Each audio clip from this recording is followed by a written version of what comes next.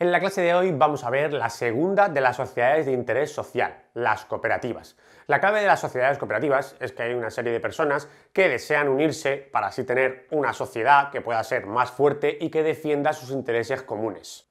Este tipo de sociedades es ideal para aquellos socios que se dan cuenta que si se unen van a poder defender mejor sus intereses y que de esta manera van a poder mejorar sus condiciones. Podemos decir que se aplica el dicho de la unión hace la fuerza. Esto suele ocurrir muchas veces en el campo, donde muchas veces los agricultores se forman para hacer cooperativas, para vender, por ejemplo, pues el aceite o las almendras. Lo que se refiere a las características, el número de socios va a depender del nivel de grado de la cooperativa.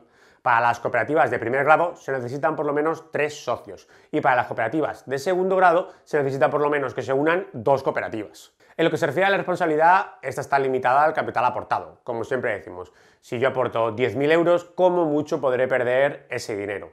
Y el capital mínimo, el capital mínimo para formar una cooperativa, dependerá de los estatutos de la sociedad, es decir, de los acuerdos a los que han llegado los propios socios. En lo que se refiere a la transmisión de las participaciones de la cooperativa, también va a depender de los estatutos, es decir, de los acuerdos iniciales a los que llegaron los socios.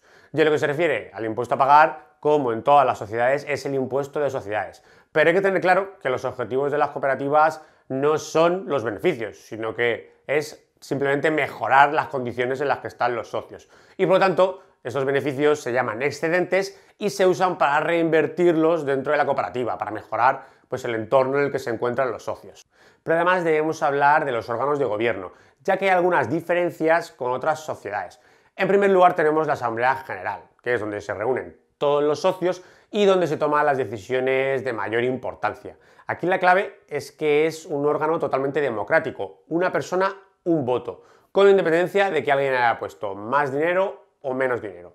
Luego tenemos el Consejo Rector, que son, digamos, los que se encargan de llevar la gestión de la empresa en el día a día y los que representan a la cooperativa.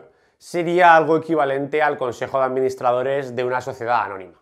Luego tenemos los interventores, que son los que se encargan de vigilar que todas las cuentas se están llevando de la manera adecuada y que nadie se está quedando con más de lo que pertenece. Y por último, el comité de recursos, que sería el órgano sancionador, que obviamente pues, pondrá una serie de sanciones para aquellos socios que no cumplan algo que se haya pactado. En cuanto a las ventajas de estas sociedades cooperativas, la primera es que es, con diferencia, la sociedad más democrática. Una persona, un voto, con independencia del dinero que haya aportado.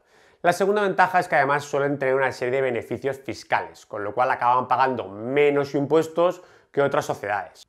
Y la tercera de las ventajas es que en las sociedades cooperativas uno de los principales objetivos es mantener el empleo de los socios, con lo cual en épocas de crisis pues el empleo de las sociedades cooperativas suele ser de los más seguros. En cuanto a los inconvenientes, el primero es que se necesita una gran relación de todos los socios. Hemos dicho que al final cada persona es un voto, si no hay acuerdos entre ellos va a ser muy complicado gestionar una sociedad cooperativa. Otro inconveniente es que los trámites de constitución, es decir, los trámites para iniciar una cooperativa, suelen ser más complejos que otro tipo de sociedades. Y un inconveniente más es que hay obligatoriamente crear un fondo de reserva, es decir, que parte de los beneficios todos los años hay que meterlos en ese fondo de reserva. En definitiva, que como puedes ver, tanto en la sociedad cooperativa como en la sociedad laboral, que las hemos llamado sociedades de interés social, los trabajadores tienen un gran poder, porque son al final los que gestionan la empresa. Con esto acabamos y nos vemos como siempre en la siguiente clase.